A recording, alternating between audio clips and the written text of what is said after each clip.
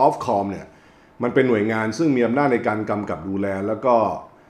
ดูเหมือนว่ามีอำนาจทางกฎหมายเยอะเกิน แต่ว่าบางเรื่องเนี่ยเขาก็เลยสามารถเข้าไปแทรกแซงแล้วก็แนะนำนู่นแนะนำนี้ได้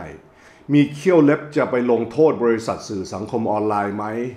พูดได้ไม่ง่าย เพราะว่าส่วนใหญ่แล้วเวลามีการลงโทษ บริษัทซึ่งเป็นเจ้าของสื่อสังคมออนไลน์ในเรื่องของการละเมิดสิทธิ์ของเยาวชนที่ทำให้เยาวชนนั้นติดงอมแงมเนี่ยนะฮะมันก็ลงโทษอะไรไม่ค่อยได้ ส่วนใหญ่ก็จะมีการยอมรับสารภาพ อย่าง Facebook ก็ยอมรับสารภาพว่าเขาปล่อยให้ให้การออกแบบ Instagram นั้นทำให้เยาวชน โดยเฉพาะเยาวชนเด็กผู้หญิงนั้นเสพติด แต่ว่ามันก็ไม่ได้นำมาสู่เขี้ยวเล็บอะไรในการลงโทษ อันนั้นคือในสภาสหรัฐ ในกรณีของออฟคอมในรอบนี้เนี่ยซึ่งเขาเป็นองค์กรอิสระนะฮะซึ่งมีอำนาจเยอะเกินในการกำกับดูแล โครงสร้างพื้นฐานและเนื้อหาของสื่อมวลชนในสหราชอาณาจักรเนี่ยเขาได้ระบุว่าเด็กอายุ 8-17 ปีเนี่ยใช้เวลาออนไลน์ระหว่าง 2-5 ชั่วโมงต่อวัน โดยเวลาที่ใช้บนโลกออนไลน์เนี่ยเพิ่มขึ้นเมื่อเด็กโตขึ้น ก็คือมันมีรายงานซึ่งเขาได้ผลิตออกมานะฮะแล้วเขาบอกว่าอายุ 8-17 เนี่ย ใช้เวลาออนไลน์เฉลี่ย 2-5 ชั่วโมง แล้วก็เมื่อใช้ตั้งแต่เด็กพอโตขึ้นไม่ใช่ลดลงกลับเพิ่มขึ้นนะฮะแน่นอนถ้าสมมติคุณเป็นผู้ปกครอง แล้วคุณไม่ได้เป็นห่วงเรื่องนี้ คุณเป็นผู้ปกครองส่วนน้อย ส่วนใหญ่เป็นห่วงทั้งนั้นไม่ว่าจะเป็นผู้ปกครองในประเทศไหน รายงานชิ้นนี้บอกว่าเด็กเกือบทุกคนที่อายุมากกว่า 12 ปีมีโทรศัพท์มือถือ และเกือบทั้งหมด ดูวิดีโอบนแพลตฟอร์ม เช่น YouTube หรือ TikTok 4 ใน 5 ของวัยรุ่นที่ใช้อินเทอร์เน็ตบอกว่าพวกเขาเคยใช้เครื่องมือปัญญาประดิษฐ์หรือ AI เช่น ChatGPT หรือ My AI ของ Snapchat Snapchat นี่ก็ใช้แล้วสนุกนะฮะ เคยมีคนแนะนำให้ใช้เขาบอกว่าในในยุโรปแล้วก็ในอเมริกาตอนเหนือนิยมมากทีเดียวนะฮะ โดยเฉพาะในอเมริกา Snapchat เนี่ยวัยรุ่นนิยมเอาไว้ใช้ในการคุยกัน ไม่รู้ทำไม แต่ว่ามัน มันสนุกดีคล้ายๆ แบบที่คนไทยติดไลน์กันงอมแงม วัยรุ่นเมืองนอกก็ติด Snapchat กัน ประมาณครึ่งหนึ่งของเด็กที่มีอายุมากกว่า 12 ปีขึ้นไป คิดว่าการใช้อินเทอร์เน็ต ดีต่อสุขภาพจิตของพวกเขาด้วย จากข้อมูลการศึกษาของ Ofcom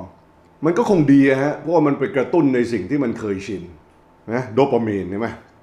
แต่เด็กส่วนน้อยบางคนก็ไม่คิดเช่นนั้น เพราะว่าหนึ่งใน 8 ของเยาวชนอายุ8-17 ปี มองว่าพวกเขาเคยต้องเจ็บปวดเพราะคำพูดที่เลวร้ายหรือรุนแรงบนโลกออนไลน์ หรือบนแอปพลิเคชันที่มีการเอาไว้ใช้ในการส่งข้อความ กรรมธิการด้านเด็กของสหราชอาณาจักรชี้ว่าครึ่งหนึ่งของเด็กที่มีอายุ 13 ปี ที่ทีมสำรวจรายงานว่าพวกเขาเห็น หนังโป๊ที่รุนแรงและเหยียดผู้หญิง บนเว็บไซต์และสื่อสังคมออนไลน์ ซึ่งอันนี้ก็เยอะ คือมันไม่ใช่แค่เหยียดผู้หญิงแล้วฮะคืออะไรก็ตามซึ่งมันเป็นสิ่งที่โป๊เปลือยแล้วก็เป็นการคล้ายๆกับ เอาคนมามีเพศสัมพันธ์ให้ดูกัน เยี่ยงเช่นสัตว์อะไรเงี้ย ส่วนใหญ่ในโลกของอุตสาหกรรมหนังโป๊มันจะค่อนข้างมีความรุนแรงสูง แล้วก็พอเด็กได้เสพของต่างๆ เหล่านี้ตั้งแต่วัยรุ่นเนี่ยมันสร้างสภาพเขาเรียกว่า desensitization เด็กคนนั้นโตขึ้นมาก็จะมีความรู้สึกว่าความรุนแรง การมีเพศสัมพันธ์ด้วยการรังเกียจกันด้วยการใช้ความรุนแรงเป็นเรื่องปกติอะไรเงี้ยนะฮะก็มันมีหลายประเด็นซึ่งตามมาเยอะ แต่ว่า เอาเป็นว่าพ่อแม่ส่วนใหญ่เขาก็เป็นห่วงกันนะฮะแล้วก็สมควรที่จะเป็นห่วงหนึ่งในสามของผู้ปกครองในสหราชอาณาจักรบอกว่าพวกเขาใช้การควบคุมเพื่อจำกัดสิ่งที่ลูกๆเห็นออนไลน์ ตามข้อมูลจาก Internet Matters องค์กรด้านความปลอดภัยที่จัดตั้งขึ้นโดยบริษัทอินเทอร์เน็ตขนาดใหญ่ที่ตั้งอยู่ในสหราชอาณาจักรบางแห่ง องค์กรนี้มีรายการเครื่องมือที่ผู้ปกครองสามารถใช้เพื่อควบคุมการใช้อินเทอร์เน็ตของลูกๆได้ และมีคำแนะนำทีละขั้นตอนเกี่ยวกับวิธีใช้ด้วย แต่ว่ามันไม่เคย work ไงเพราะว่าผมไม่รู้ท่านผู้ชมเคยลอง screen password ใน Netflix ไหมพออยู่ในบ้านเดียวกันสักพักอะลูกหลานก็ได้รหัสหมดนะฮะมันเป็นสิ่งที่ควบคุมยาก แล้วถึงเวลาเนี่ย ถ้าคุณจะบอกว่าก็ไม่ต้องซื้อมือถือให้เด็ก ผมคนเดียวผมไม่ซื้อให้เนี่ย มันก็อาจจะได้ไงแต่ว่าเมื่อมันเป็นสิ่งที่เยาวชนมีกันเยอะ ในที่สุดทุกคนมันก็อยากมีไง มันทำให้อำนาจในการกำกับดูแลของบิดามารดาในที่สุดเนี่ยมันลดลงโดยปริยายเมื่อทุกคนมีสิ่งนั้น เด็กๆ ลูกๆพอโตขึ้นมาเริ่มโตมันก็อยากมีกัน พอเพื่อนๆมันมีกัน เพราะว่ามันมีผู้ปกครองซึ่งปล่อยให้บุตรนั้นมีมือถือเสร็จแล้วพอคุณผู้ปกครองซึ่งไม่ปล่อยให้บุตรมีมือถือกลายเป็นว่าคุณเป็นตัวปัญหาอะไรเงี้ยนะฮะมันมีทัศนคติในในแง่นั้นในมุมเด็กด้วยที่เด็กมองกันเอง ผู้ให้บริการเครือข่ายโทรศัพท์มือถืออาจจะปิดกั้นการเข้าถึงเว็บไซต์ที่ล่อแหลมบางเว็บจนกว่าผู้ใช้จะแสดงตนว่ามีอายุ 18 ปี ผู้ให้บริการบางรายยังมีการออกระบบควบคุมของผู้ปกครอง parental control ที่สามารถจำกัดเว็บไซต์ที่เด็กๆสามารถเข้าชม มันไม่ work แล้วฮะมันไม่ work ถ้าพูดถึงจะบล็อกเนื้อหาอนาจารใช่ไหมขนาดหน่วยงานรัฐบล็อกเนี่ยจากหน่วยงานอย่างกระทรวง ICT เดิมหรือ DE อะไรเงี้ยมันก็บล็อกได้นิดๆหน่อยๆนะฮะส่วนใหญ่ก็เข้าถึงได้ทั้งนั้นแหละนะฮะไอ ไอไอ password สำหรับรหัสในการพิสูจน์วันเกิดนี่มันมันมั่วซั่วได้เยอะแยะ ค่อนข้างง่าย ค่อนข้างง่าย ค่อนข้างค่อนข้างเอ่อ breakthrough ง่ายอยู่ดีอืมกฎเกณฑ์ใหม่สำหรับบริษัทเทคโนโลยีมีอะไรบ้าง รัฐบาลสหราชอาณาจักรกล่าวว่าพระราชบัญญัติความปลอดภัยออนไลน์ที่คาดว่าจะเริ่มใช้ในปี 2025 จะบังคับให้บริษัทสื่อสังคมออนไลน์ และผู้ ให้บริการเครื่องมือค้นหาออนไลน์หรือ Search Engine เนี่ยต้องมีความรับผิดชอบต่อการป้องกันเด็กจากเนื้อหาที่ผิดกฎหมายและเป็นภัยต่อผู้เยาว์แพลตฟอร์มต่างๆ จะต้องแสดงว่าพวกเขามุ่งมั่นที่จะลบเนื้อหาที่ผิดกฎหมาย เรื่องเนื้อหาทารุณกรรม เนื้อหาความรุนแรงทางเพศ เนื้อหาการล่วงละเมิด เนื้อหาลามกอนาจารในทางที่ปราศจากการตรวจสอบอายุ Ofcom ได้รับมอบหมายอำนาจบังคับใช้เพิ่มเติมในฐานะหน่วยงานกำกับดูแล เพื่อให้แน่ใจว่าบริษัทต่างๆ จะปฏิบัติตามกฎหมาย ประธาน Ofcom เขาบอกว่าบริษัทใดที่ไม่ปฏิบัติตามกฎหมาย อาจจะถูกปรับเพิ่มอายุ ผู้ใช้งานขั้นต่ำเป็น 18 ปี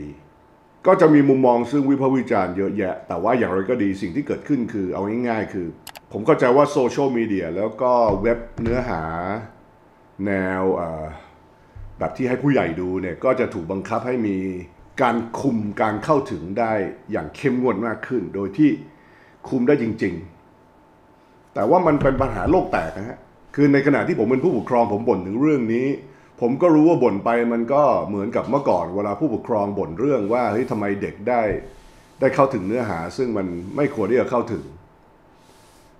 พอถึงเวลามันก็เข้าถึงเนื้อหา ซึ่งเป็นเนื้อหาผู้ใหญ่ได้อยู่ดี ผมคิดว่าในกรณีนี้ก็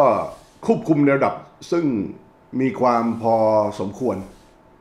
ในแบบที่เคารพสิทธิ์ของผู้ใหญ่ แล้วก็เคารพสิทธิ์ของบริษัทเอกชนด้วย ให้เขาสามารถประกอบธุรกิจได้ แต่ว่าลดความสุดโต่งลงของเนื้อหาออนไลน์ ส่วนโซเชียลมีเดียนี่อันนี้ผมยิ่งว่ายิ่งเกาหัวหนักเลยผม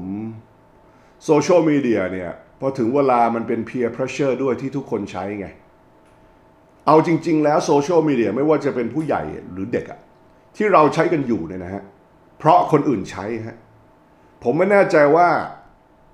มันจะมีขั้นตอนในการเข้าไปแทรกแซงอะไรได้มาก ถ้าคุณจะบล็อกอย่างบางประเทศไปเลยเนี่ยนะฮะ มันก็ต้องมีโซเชียลมีเดียของประเทศนั้นออกแบบขึ้นมาแทน อย่างเช่นที่อิหร่านหรือจีนมี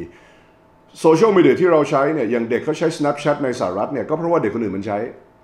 เราใช้ไลน์เพราะว่าเพื่อนร่วมงานเราใช้ เราใช้ Facebook เพราะว่าคนไทยใช้ Facebook ถ้าคนอื่นไม่ใช้เราก็ไม่ใช้ เพราะฉะนั้นปัญหาเรื่องของการใช้โซเชียลแล้วก็การลดการใช้โดยเฉพาะทั้งเด็กและผู้ใหญ่อะไรเงี้ย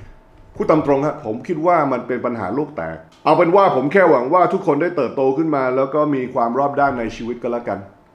ส่วนการบล็อกไม่ให้เข้าถึงอะไรเงี้ยผมคิดว่ามันมันกู่ไม่กลับแล้วฮะเขาเรียกว่าอะไรอะมัน beyond rescue คือมันแก้ไขปัญหาหรือมัน